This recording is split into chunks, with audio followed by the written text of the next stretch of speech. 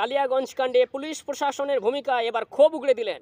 জাতীয় শিশু সুরক্ষা অধিকার কমিশনের চেয়ারপারসন প্রিয়াঙ্ক কানুনগো। নমস্কার, নজরে পশ্চিমবঙ্গ।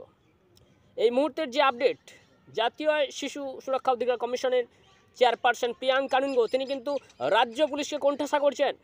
রাজ্য সরকারের ভূমিকায় তিনি কিন্তু এক একটা প্রশ্ন নিক্ষেপ করছেন, যেখানে রাজ্য প্রশাসন তারা কিন্তু ব্যতিগ্রস্ত কারণ উত্তর দেওয়া খুব কঠিন। যেখানে প্রশ্ন কঠিন হবে, সেখানে তো উত্তর দিতে অনেকটাই ভারী পড়বে। সেই রাজ্য পুলিশ উত্তর দিতে পারছেন না। কারণ প্রিয়াঙ্ক কানুনগো তিনি কিন্তু বারবার বলছিলেন, যেখানে প্রথম যে সূত্র পুলিশের কাজ হওয়ার দরকার ছিল, যে নিহত কিশোরী তার পরিবারের লোকজনের স্টেটমেন্ট নেওয়া, সেটা পুলিশ নিতে পারে না। পুলিশের প্রফেশনাল যে নমুনা তা কিন্তু ধরা পড়ছে পুলিশ কতটা প্রফেশনাল এখানে, নাকি নামমাত্রই পুলিশ। টেনে হিজড়ে লাশ বয়ে নিয়ে যায় যারা। তারা কতটা প্রফেশনাল হবে? এই রাজ্যের পুলিশ প্রশাসনকে কটাক্ষ এবং তার প্রতি, তাদের প্রতি কিন্তু ক্ষোভ উগড়ে দিচ্ছেন জাতীয় শিশু সুরক্ষা অধিকার কমিশনের চেয়ারপারসন প্রিয়াঙ্ক কানুনগো। চব্বিশ ঘণ্টা পর, অতপর চব্বিশ ঘণ্টা পর রায়গঞ্জের সার্কিট হাউস সার্কিট হাউসে প্রিয়াঙ্ক কানুনগোর সাথে দেখা করলেন রাজ্যের পুলিশ প্রশাসনের কর্তারা। উত্তর দিনাজপুর জেলার অতিরিক্ত জেলাশাসক রায়গঞ্জের মহকুমা শাসক, এছাড়া কালিয়াগঞ্জ কাণ্ডের তদন্তকারী অফিসার এবং রায়গঞ্জ মেডিকেল কলেজের ময়না তদন্তকারী এক চিকিৎসক। ভাস্কর জ্যোতি দেবনাথ তার সাথে আজ দেখা করেছেন। জাতীয় সুরক্ষা, শিশু সুরক্ষা অধিকার কমিশনের চেয়ারপারসন প্রিয়াঙ্ক কানুনগো, তার প্রশ্ন ছিল, এই যে কাণ্ড ঘটে গেল, এত বড় কাণ্ড এখানে সন্দেহভাজন তৃণমূল নেতা, অর্থাৎ পঞ্চায়েত প্রধানকে কেন জেরা করা হলো না? কারণ পরিবারের সদস্যরা বলেছিলেন, যেদিন বৃহস্পতিবার বেরিয়ে গিয়েছিলেন ওই নাবালিকা, তখন কিন্তু তার সন্ধান পেয়েছিল যে কোথায় আছে, না পঞ্চায়েত প্রধানের সাহায্য নিতে গেছেন তিনি বলেছিলেন তার প্রেমিকার সাথে আছে। সেই সন্দেহভাজন তৃণমূল নেতা, তিনি জানলেন কি করে তার প্রেমিকের সাথে আছে, কিন্তু তার বাড়ির লোকজন, যে নিহত হয়ে গেল, সেই কিশোরীর মা বাবা জানতে পারল না সে কথা হয়েছে এই সন্দেহভাজন নেতাকে কেন তৃণমূল পঞ্চায়েত প্রধানকে প্রশ্ন করতে পারল না, জেরা করালো না পুলিশ প্রশাসনের ভূমিকায় কিন্তু নারাজ হয়েছেন। ক্ষোভ উগড়ে দিলেন। যে এটা কি সিস্টেম এছাড়া আজ যেখানে দেখা করেছেন সার্কিট হাউসে প্রিয়াঙ্ক কানুনগোর সাথে পুলিশ প্রশাসনের কর্তারা। জেলা শাসক, অতিরিক্ত মহকুমা শাসক, অতিরিক্ত জেলা শাসক, তদন্তকারী অফিসার। তাদের কোথায় তিনজনের কথার মধ্যে কিন্তু ফারাক রয়েছে, তারতম্য রয়েছে, তারা কিন্তু একই প্রশ্নের সবার মধ্যে কিন্তু আলাদা আলাদা উত্তর পাওয়া যাচ্ছে। সেখানে রহস্যের গন্ধ পাওয়া যাচ্ছে। এছাড়া সব থেকে আশ্চর্যের বিষয় যে ময়না তদন্তকারী তিনজন তিনজন চিকিৎসক ছিলেন, তার মধ্যে একজন মাত্র দেখা করেছেন। বাকি দুজনকে নাকি ছুটিতে পাঠানো হয়েছে কলকাতায়। দশম শ্রেণির কিশোরী, তাকে হত্যা হতে হলো, তাকে খুন করা হলো।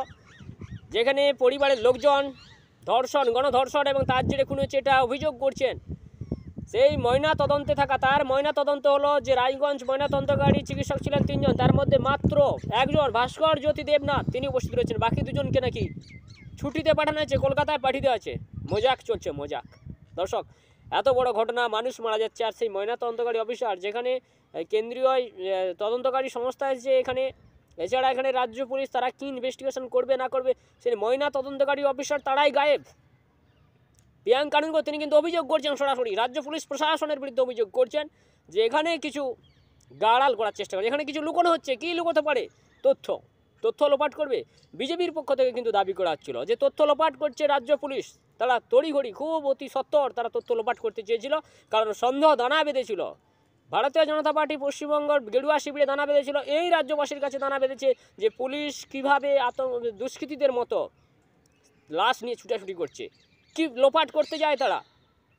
মৃতদেহকে পুলিশ এইভাবে কেন যাবে? তারা তো সম্মানের সহিত এবং পুলিশ তাদের যে পুলিশগিরি সেটা দেখাবে তারা তাদের ধীর মস্তিষ্কে দেখাবে, পুলিশ দৌড়াদৌড়ি করে লাশ নিয়ে ছুটাছুটি করবে। তৃণমূলের রাজ্য সাধারণ সম্পাদক কুণাল ঘোষ, তিনি সেই একই লাগাতার ভুলভাল বকে যাচ্ছেন, যে জাতীয় শিশু সুরক্ষা অধিকার কমিশন নাকি কেন্দ্রের? কেন্দ্রের হিসেবে চলছে, বিজেপির হিসেবে চলছে? আরে ভাই, আপনাদের তাহলে পুলিশ প্রশাসন তো তাহলে পশ্চিমবঙ্গ সরকারের। তাহলে মানুষ কি বলবে? যে পুলিশ, প্রশাসন তারা তৃণমূলের নেতাকে বাঁচানোর জন্য তারাই তাদের হিসেবে চলছে। কেন্দ্রীয় তদন্তকারী সংস্থা, জাতীয় শিশু সুরক্ষা কমিশন, জাতীয় শিশু সুরক্ষা অধিকার কমিশন, তাদের কথা বলে ছেড়েই দিলাম।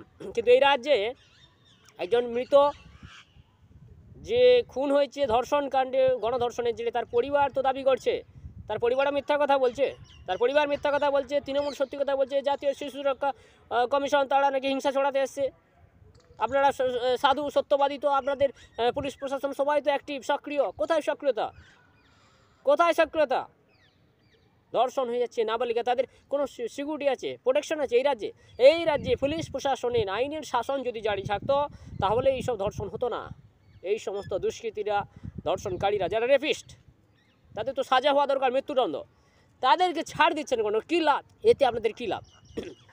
মানুষ আপনাদের কাছে কিন্তু দেখছে আপনাদের যে দায়িত্ববোধ, আপনাদের ভূমিকা দেখছে। রাজ্যবাসীর মনে দানা বেঁধেছে এবং রাজ্যবাসীও চাইছে, রাজ্যবাসী চাইছে যে এর সঠিক তদন্ত হোক।